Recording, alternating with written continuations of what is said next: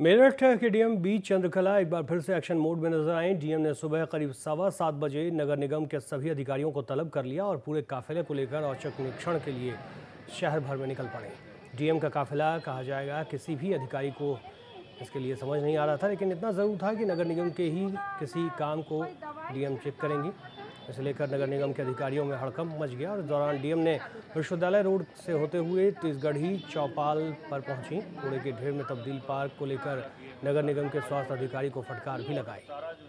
ये बाउंड्री किन की है? यूनिवर्सिटी की है। और रोड हमारा रोड हम लोग।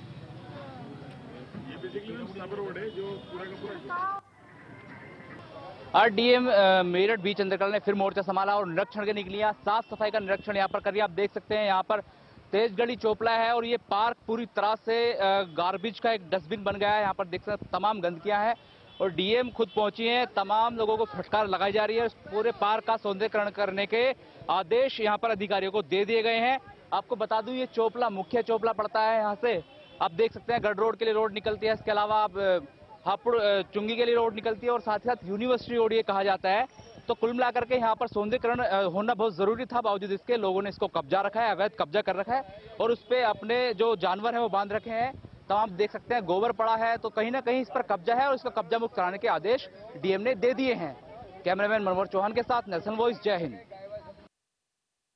मेरठ डीएम बी चंद्रकला ने जब से मेरठ का चार्ज लिया है, तब से ताबड़तोड़ वो निरीक्षण कर रही है, एक्शन मूड में दिखाई दे रही है। पहले जिला अस्पताल का निरीक्षण किया गया, आज सफ़ाई अभियान यहाँ पर चलवा दिया है तो निरीक्षण किया जा रहा है।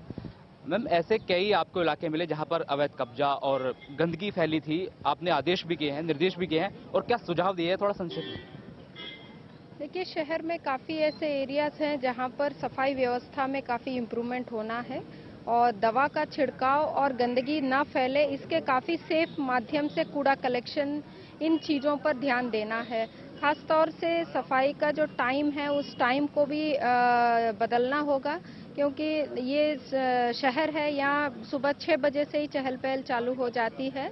तो छः बजे तक पूरी सफ़ाई का एक राउंड काम कंप्लीट हो जाना चाहिए, कूड़ा कलेक्शन से लेकर उठान तक।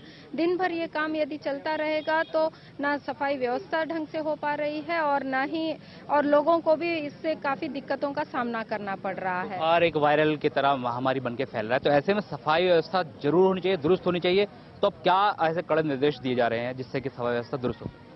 इसमें एरिया वाइज अप्रोच अलग रखना है। जो घनी आबादी के इलाके हैं, जो अभी हम लोग गए हैं वहाँ पर डोर टू डोर कलेक्शन के लिए छोटी गाड़ियों के माध्यम से कलेक्शन पॉइंट्स करने होंगे और जहाँ पर डलाव घर है, उनको कॉर्डन करके गंदगी बाहर ना फैले, आवारा पशु ना जाए, गाय वगैरह उसमें पॉलीथीन ना खाए।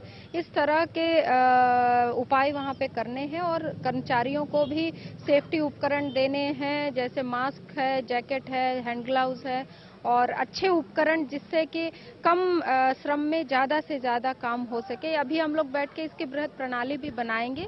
और लास्ट मीटिंग से अब में नगर आयुक्त महोदय ने नंबर ऑफ़ सफ़ाई कर्मचारी भी बढ़ा दिए हैं और उपकरण की खरीद में भी उन्होंने तुरंत इस पर एक्शन लिया है। और अब हम लोग एरिया वाइज प्लान करेंगे उनके साथ बैठकर।